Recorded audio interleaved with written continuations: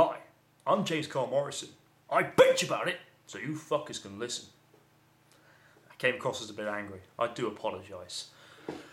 Ah, well, I just went to watch Hangover 2, and unlike X Men First Class, I did not go and watch this movie with an open mind. I've seen a lot of uh, bad, bad reviews for Hangover 2, essentially complaining that it's the exact same movie um, but recycled and in Bangkok.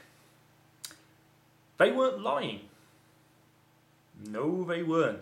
They are exactly dead on. It is the exact same movie, but one of the uh, main three characters is getting married. Uh, I will not divulge, in saying which one. It doesn't really matter. It could be either either one. It'd pretty much be the same movie. Um, yeah, I'm gonna struggle to joke about this, and, uh, and if again, it's the exact same fucking formula as the first one. They really was. They really just shut it out. I mean, there was high demand after Hangover One, and obviously it's taken less than a year to make this one. I don't know what people were expecting. Really, it was never going to be original. Quite obviously, if it ain't broke, don't fix it. You know. Charlie, no Charlie Sheen though. I, I there was rumored that Charlie Sheen was going to be in it. Uh, he isn't.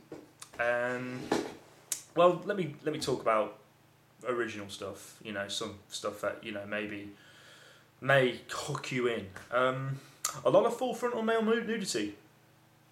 Maybe some guys are into that. I, I'm not too keen, really, being you know heterosexual. Yeah, I know I, I am a heterosexual man. It's bizarre.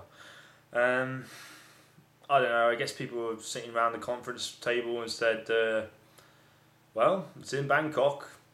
It makes sense if there was a lot of cock in it." And there is. There is quite a lot of cock.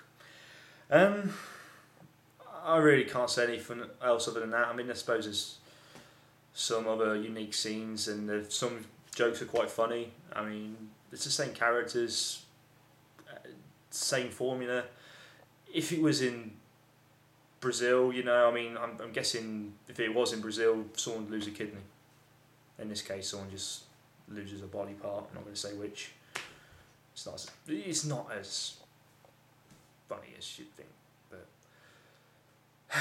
yeah, it's not a bad film though. I mean, I'd give it fifty, uh, just because it, it just lacks originality. That's that's its only real uh, flaw. I suppose that is a big flaw, but hey, I enjoyed it for what it was.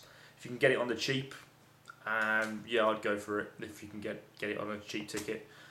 If not, a movie rental, you're gonna get a chuckle. It's it is kind of funny, and um, yeah, I'm not too ha- I'm not going to be too uh, excited for the third one if there is going to be a third one. I'm not going to be jumping up and down for it. Mm. See, see what you've done. I'm, I'm, I don't know what to feel. I'm indifferent. I, it's, it's, it's Iron Man two all, all over again. Only, I watched that the second time and I thought it was awesome. I'm not sure I'm going to feel that way for this movie. Gutted. Ah well, never mind. Can't win them all. See ya.